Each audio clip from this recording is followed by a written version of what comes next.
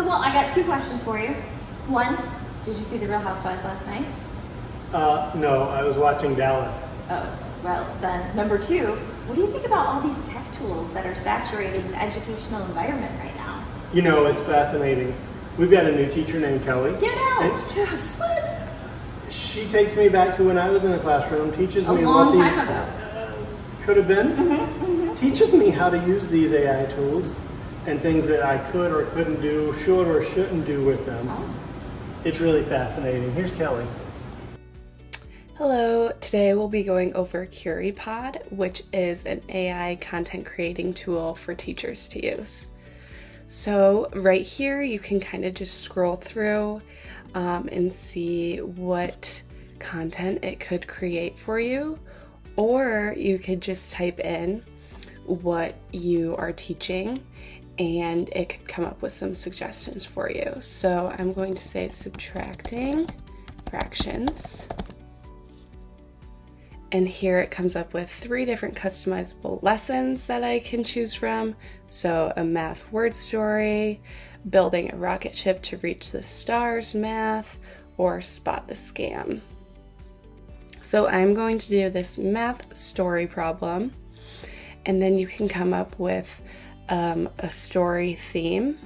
So, if all of your students really love superheroes or um, a certain sport or, or a certain athlete, so I'm just going to say Spider Man.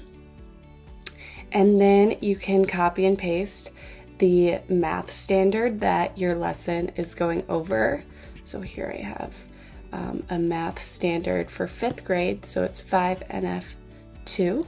So 5NF2. So I just copied and pasted um, the standard in there, and now I will have it customize my lesson. So here it just customized a lesson for me. Um, it created um, math story problems with an engaging story. So as you can see here is the introduction about Spider-Man swinging from building to building. So what I like about Curipod is that um, you can tailor your word problems to the student's interest. For example, I'm a big Swiftie, um, and I could interject some Taylor Swift, you know, knowledge or lyrics into the word problem for my students who are also fellow Swifties. That would also help me as a teacher. I was in the classroom because I'm from a different era. It created this PowerPoint. I can go through and edit it if I want. So here it says Spider Man caught half of the Green Goblin's gang in the morning and one fourth in the evening. How much of the Green Goblin's gang did Spider Man catch and in total that day? And then it goes over the solution, and then it has a do now in pairs. So it gives them a new problem, goes over the solution, etc., etc. So you can just present it straight from this website. You can edit it right here.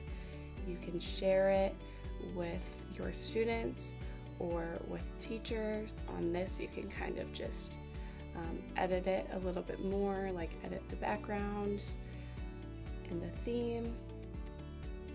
Or, like I said, you could present it full screen right here and you can freeze it. Um, you can see what students have joined. You can also require real names so that students don't choose something inappropriate. Um, and then up here is the link that the students would go to and the PIN number that they would have to type in when prompted. So, this was a very um, easy way to create content for the students who follow along with you. Thank you for watching.